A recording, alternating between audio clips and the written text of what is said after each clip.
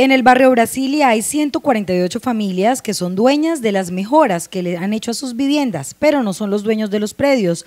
Esto debido a un problema jurídico que se presenta desde hace más de 18 años. Este es un problema que va a cumplir 20 años de intervención. Este es un proyecto que desarrolló una entidad que se llamaba Procasa Limitada.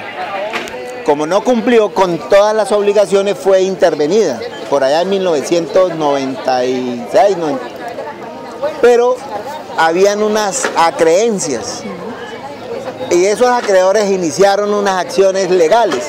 Por eso hoy hay unos, un número de predios de este proyecto que se encuentran con unas hipotecas y con unos eh, cobros mm, eh, ejecutivos vigentes.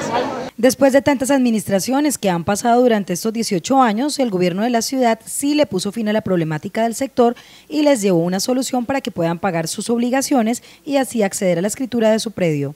Al señor alcalde que nunca nos ha abandonado, que la gestión de él es darnos las escrituras, es un paso que llevamos más de 18 años.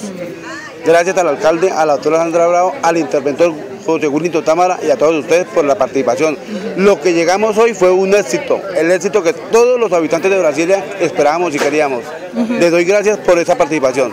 En menos de seis meses, estas familias que estuvieron de acuerdo con la solución planteada podrán cumplir con un anhelo que casi cumple dos décadas. De que cada cual tenga su predio con, con su titulación, que puedan acceder a venderlas, a tener créditos y todo. Entonces la gente está muy contenta con eso.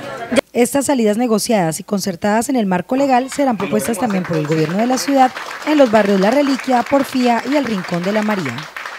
Eh...